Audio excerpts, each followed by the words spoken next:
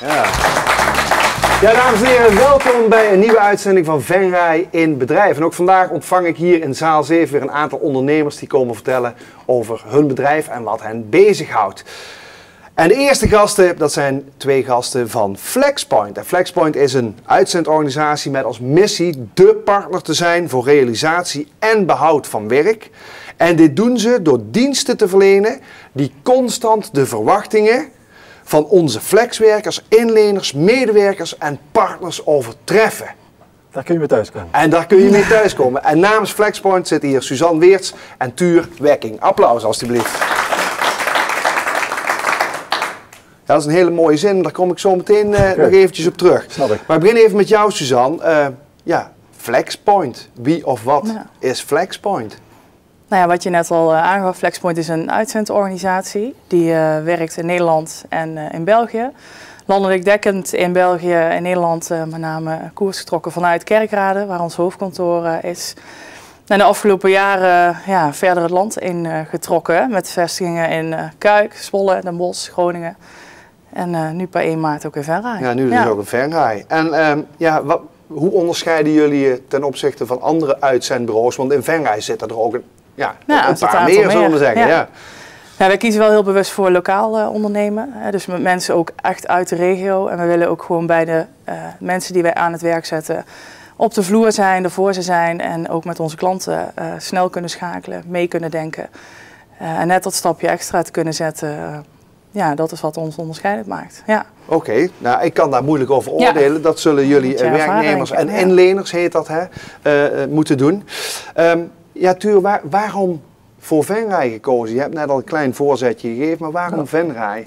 Ja, Venray is sowieso natuurlijk een interessante eh, stad. Met is toch een groot logistieke bedrijf natuurlijk, of hotspot natuurlijk moet ik zeggen. Ja, nou, we zijn altijd blij Eh. als mensen ons stad noemen. Want, Nou ja, ik begin positief natuurlijk. Eh, oh, je bent- wij, ehm, en wij zitten natuurlijk ook in Venlo. We hebben natuurlijk ook een locatie in Roermond. We hebben ook een locatie bijvoorbeeld in Kuik.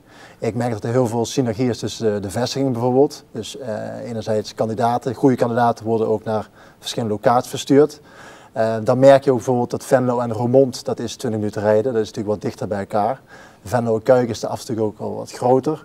Eh, en juist tussen Venlo en Kuik, als je daar tussen komt te zitten in Venray, dan kun je ook met de kandidaten en ook met bedrijven, ja, kun je het ook verschillende kanten mee op. En Oké, zo dat- hebben we uiteindelijk eh, vandaar de keuze ook voor Ja, Vest. duidelijk. Ehm, ja, waar in Venray kunnen de mensen jullie trouwens vinden? Dat hebben we nog niet eens verteld. Waar zijn jullie te vinden? ja, op de Hofstraat. Op de Hofstraat. Ja. ja, een Eh, mooie pand op de hoek. Waar je het dorp Ja. in fietst, zeggen we dan hier Ja. in Venray. Hè? Ehm, en, en, en hoeveel mensen werken er in die vestiging? Eh, 1, 2, 5, als ik niet vergis. Ja, vijf collega's. Vijf collega's. Ja. En, en hoeveel mensen, want jullie zijn nu vanaf maart volgens mij bezig. In maart gestart, ja. Hoeveel, En me- hoeveel mensen hebben jullie al aan het, aan het werk gekregen hier? Volgens mij inmiddels al zo'n 50 man die we nu al aan het werk hebben gekregen. Dus dat is eh, een mooie start natuurlijk. Daar zijn we ook heel trots op. En ons zaak om nu eh, dat te gaan vermenigvuldigen. Ja. Ja. kijk, ja, dus de start is in ieder geval prima geweest. Ja. ja, en waarom, waarom moeten mensen die werk zoeken juist bij jullie binnenlopen? Juist bij jullie Ja. en niet bij zo'n andere uitzendbureau? Nou ja, met name omdat wij wel heel erg op het individu gericht zijn. Kijken wat zoekt iemand en niet per se iemand op een bepaalde vacature willen plaatsen. Ehm, maar ja, wel gewoon kunnen kijken wat kunnen we voor iemand doen. En we willen wel meer doen. Hè. Kunnen mensen opleiden, kunnen mensen doorontwikkelen. Ehm, en ook bepaalde trajecten bij bedrijven laten lopen, dat we mensen carrière Maar wat kunnen bedoel je bijvoorbeeld met opleiden? Ja, het kan eh, van een operatoropleiding zijn. Hè? Iets wat eh, redelijk basic eh, is qua opleidingsniveau. Maar ook externe coachingstrajecten om gewoon mensen aan zichzelf door te laten ontwikkelen en beter te worden. Ja.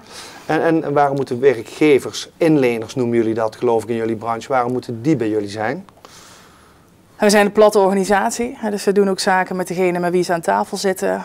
Korte lijnen. En ja, we leveren maatwerk. We luisteren heel goed naar wat de klant zoekt. En op basis van wat die behoefte is, gaan we kijken wat, wat sluit daarbij aan en hoe kunnen we daar invulling aan geven. Ehm, ja, in de aankondiging, eh, ik zei het net al, het is eigenlijk een stukje gewoon van, van jullie missie die ik daar eh, heb opgenomen. Ehm, ik lees het nog een keer voor. Er staat jullie verlenen diensten die constant de verwachtingen van flexwerkers, inleners, medewerkers en partners overtreffen. Ja, Ja. dat klinkt fantastisch. Maar maar waar, hoe zie ik dat dan? Hoe overtreffen jullie die verwachtingen? Wat, wat zie ik? Wat wij merken natuurlijk in onze industrie, in industrie, logistiek en office, waarin wij natuurlijk uh, ons gespecialiseerd hebben, is eigenlijk op dit moment gewoon het invullen van de vacatures. Daar komt het eigenlijk gewoon op neer, dat moet je goed doen. En dat zijn de verwachtingen die je, die je creëert en die je ook moet zien te verwezenlijken. Mm Maar dat doen jullie, maar dan komt dat extra. Precies, dat extra stuk, dat zit inderdaad dat je toch een HR dienstverlener wil zijn. Dus niet alleen maar sec het invullen van vacatures, maar ook eigenlijk gewoon door de hele organisatie ook kijken hoe kunnen wij iedere organisatie toch, ja, toch verbeteren. en, heb je daar een concreet voorbeeld van, van hey, en zo doen wij dat dan? planningssystemen. Uh, klanten de planningen overnemen. Uh, met externe partijen kijken waar zij hun proces kunnen optimaliseren. Dus niet per se in personeel, maar ook gewoon in productiecapaciteit. Uh, hun onboarding digitaliseren als medewerkers in dienst gaan treden. Onboarding? Ja, nou, dat is een nieuw, nieuw fenomeen in uitzendland. Maar dat als mensen gaan starten, dat zij gewoon een heel goed inwerkprogramma krijgen. Ja. Stil, steeds visueler. Smart gaming proberen gewoon wel ook met innovaties onze klanten gewoon steeds beter te kunnen faciliteren. Ja. Oké, nou dat klinkt allemaal zeer hoopvol en heel erg fijn. Um, wat, wat mogen we van Flexpoint verwachten in de toekomst? Ja, ik hoop een heleboel. wij zijn natuurlijk van nature geen Ajax, Feyenoord of PSV in de branche natuurlijk. Maar wij proberen ze wel een beetje te gaan kietelen inmiddels. Ook geen uh, rode JC dan? Nee, gelukkig niet kan ik hier zeggen, deze zender natuurlijk. Uh, nee, wij proberen eigenlijk gewoon langs de A73 eigenlijk nog steeds verder ja, toch organisaties op te gaan zetten. Aha.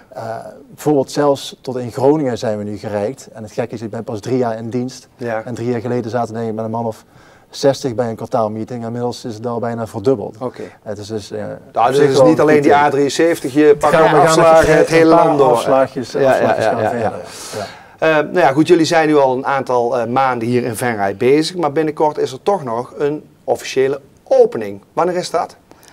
7 juni, donderdag 7 juni. Ja, en waarom kiezen jullie ervoor om, om nog zo'n officieel momentje te pakken als je al een paar maanden bezig bent? Nou, ik denk wel wat onze kracht is dat als wij een klant maken, dat we hem ook niet meer loslaten. En dat we echt al jaren uh, dezelfde relaties hebben. Dus ja, wij willen het moment dat wij een nieuwe vestiging hebben geopend en heel bewust voor Venray kiezen, ook gewoon wel echt vieren met onze medewerkers en klanten. Uh, ja, dus daar willen we wel aandacht aan dus geven. Dus dat wordt een gezellig feestje op 7 juni was dat. 7 juni. De start van de Venrijse avond, vierdaagse, yes. dus het wordt sowieso gezellig in het dorp, zullen we maar zeggen. Iedereen is welkom. Goed zo. Zijn er nog dingen die niet ter sprake zijn gekomen waarvan jullie zeggen, dat moet nog zeker vermeld worden? Wees welkom op onze nieuwe vestiging. Nou, dan lijken me dat mooie woorden om mee af te sluiten. Mag ik jullie heel hartelijk bedanken. Applaus.